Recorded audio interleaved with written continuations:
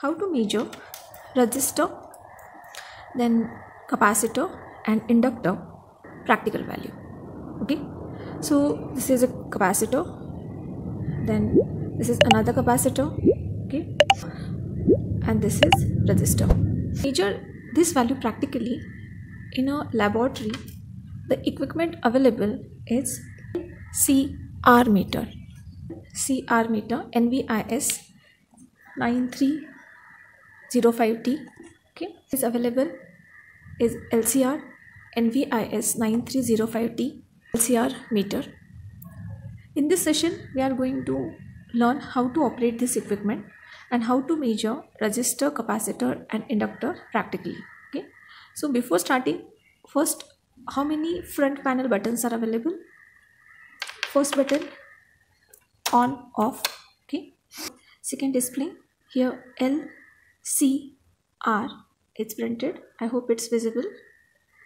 L C R is there. Then the unit is also here. Inductor microhenry picofarad ohm. Then for inductor millihenry. For capacitor nanofarad. For resistor kilo ohm. First is for inductor henry. Then microfarad and mega ohm. Okay.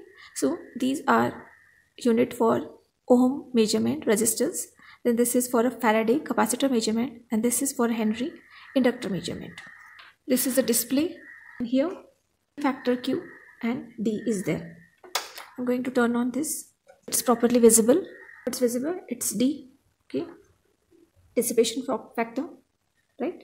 Per one is a q okay?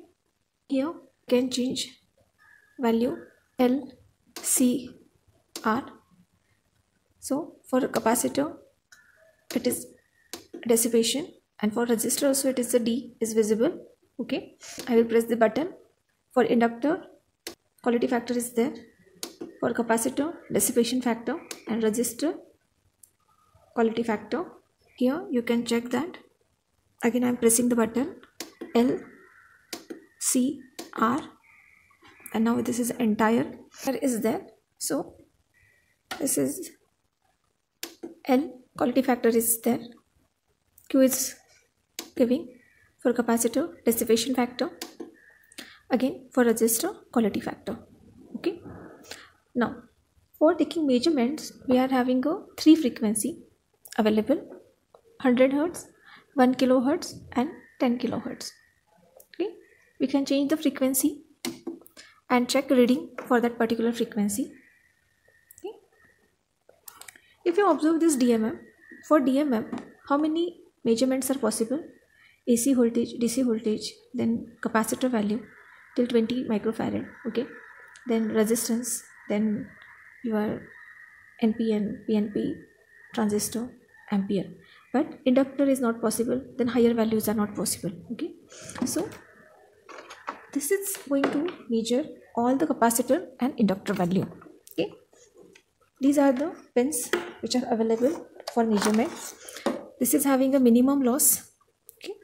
Now red is a positive and black is a negative. Okay.